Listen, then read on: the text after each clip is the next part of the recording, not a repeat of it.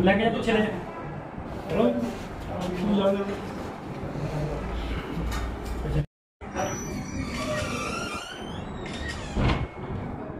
ਹਾਂਜੀ ਹਾਂਜੀ ਇਟਲੀ ਦੀ 14 ਸਤੰਬਰ ਨੂੰ ਸੇਠੀ ਮੈਡੀਕਲ ਸਟੋਰ ਦੇ ਉੱਪਰ ਇੱਕ ਚੋਰੀ ਦੀ ਘਟਨਾ ਨੂੰ ਅੰਜਾਮ ਦਿੱਤਾ ਗਿਆ ਸੀ ਕੁਝ ਵੱਲੋਂ। ਉਹਦੇ ਸਬੰਧ ਦੇ ਵਿੱਚ ਜੀ ਸਾਡੇ ਵੱਲੋਂ ਤੁਰੰਤ ਕਾਰਵਾਈ ਕਰਦਿਆਂ ਹੋਇਆਂ ਐਫ ਆਈ ਆਰ ਰਜਿਸਟਰ ਕੀਤੀ ਗਈ F I R 205 303 section 2 BNS ਦੇ ਤਹਿਤ ਸਿਟੀ ਫਗਵਾੜਾ ਵਿੱਚ। ਇਮੀਡੀਏਟਲੀ ਮੌਕੇ ਤੇ ਸਾਡੀਆਂ ਟੀਮਾਂ ਪਹੁੰਚੀਆਂ, ਮੌਕੇ ਤੇ ਸਾਡੇ ਡੀਐਸਪੀ ਸਾਹਿਬ ਜਸਪ੍ਰੀਤ ਸਿੰਘ ਉਹ ਵੀ ਪਹੁੰਚੇ।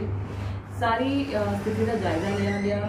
ਜੋ ਵੀ ਇਨਪੁਟ ਸਾਨੂੰ ਉਸ ਮੌਕੇ ਤੋਂ ਮਿਲਿਆ, ਕਿਉਂਕਿ ਸੀਸੀਟੀਵੀ ਫੁਟੇਜ ਵਗੈਰਾ ਨਹੀਂ ਸੀ, ਪਰ ਜੋ ਵੀ ਗੁਲੀਆਂ ਵਗੈਰਾ, ਜਿਵੇਂ ਦੇ ਵੀ ਸਾਨੂੰ ਇਨਪੁਟਸ ਮਿਲੇ, ਨੇੜੇ ਤੇੜੇ ਦੇ ਸਾਨੂੰ ਏਰੀਆ 'ਚ ਕੁਝ ਕੁਝ ਸ਼ੱਕੀ ਜਿਹੜੇ ਮੋਟਰਸਾਈਕਲ ਤੇ ਵਿਅਕਤੀ ਮਿਲੇ ਉਹਨਾਂ ਦੀ ਲੀਡਸ ਦੇ ਉੱਪਰ ਔਰ ਆਪਣੀ ਸੋਰਸਸ ਨੂੰ ਅਸੀਂ ਫੋਲੋ ਕਰਦੇ ਹੋਏ ਟੈਕਨੀਕਲ ਇਨਪੁਟ ਵੀ ਲਈ ਤੇ ਬਹੁਤ ਹੀ ਮਿਹਨਤ ਕਰਦੇ ਹੋਏ ਡੀਐਸਪੀ ਸਾਹਿਬ ਔਰ ਸਾਡੇ ਐਸਐਚਓ ਸਿਟੀ ਵੱਲੋਂ ਜਿਹੜੇ ਇਹ ਮੁਜਰਮ ਹੈਗੇ ਨੇ ਦੋ ਇਹ ਗ੍ਰਿਫਤਾਰ ਕਰ ਲਏ ਗਏ ਨੇ।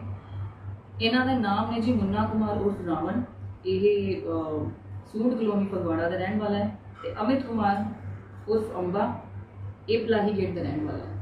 ਇਹਦੇ ਵਿੱਚ ਜਿਹੜਾ ਮੁੰਨਾ ਹੈ, ਇਹਦਾ ਬਹੁਤ ਹੀ ਕ੍ਰਿਮੀਨਲ ਟਰੈਕ ਰਿਕਾਰਡ ਪੁਰਾਣਾ ਹੈਗਾ, ਜਿਹਦੇ ਤੇ ਚਾਰ ਪਰਚੇ ਪਹਿਲਾਂ ਵੀ ਚੋਰੀ ਦੇ ਔਰ ਦੇ ਸਨੈਚਿੰਗ ਦੇ ਹੈਗੇ ਨੇ, ਔਰ ਐਨਡੀਪੀਐਸ ਦਾ ਵੀ ਹੈ। ਜਿਹੜਾ ਅਮਿਤ ਕੁਮਾਰ ਹੈ, ਇਹ ਇਹਦੇ ਨਾਲ ਨਇਆ ਜੁੜਿਆ ਸੀਗਾ, ਕਿਉਂਕਿ ਸਾਰੇ ਇਹ ਨਸ਼ਾ ਵੀ ਲੈਂਦੇ ਹੈਗੇ ਨੇ ਤੇ ਇਸ ਚੱਕਰ ਦੇ ਵਿੱਚ ਇਹਨਾਂ ਦੀ ਯਾਰੀ ਦੋਸਤੀ ਹੈਗੀ ਹੈ।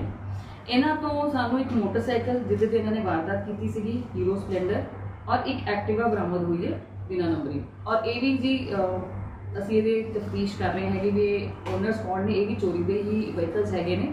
ਤੇ ਦੌਰਾਨੇ ਇਹਨਾਂ ਨੂੰ ਜਿਹੜਾ ਹੁਣ ਅਸੀਂ ਪੇਸ਼ ਕਰਾਉਣਾ ਹੈ ਦੌਰਾਨੇ ਰਿਮਾਂਡ ਇਹਨਾਂ ਤੋਂ ਸਾਰਾ ਇਹ ਤਫਤੀਸ਼ ਕੀਤੀ ਜਾਏਗੀ ਵੀ ਇਹਨਾਂ ਨੇ ਕਿੱਥੋਂ ਚੋਰੀ ਕੀਤਾ ਹੈਗਾ ਔਰ ਉਹਦੇ ਸੰਬੰਧੀ ਅਗਰ ਕੋਈ ਐਫਆਈਆਰ ਰਜਿਸਟਰ ਹੋਈ ਤਾਂ ਉਹਨਾਂ ਦੇ ਵਿੱਚ ਵੀ ਦੀ ਕੈਸ਼ ਵੀ ਰਿਕਵਰ ਹੋਇਆ?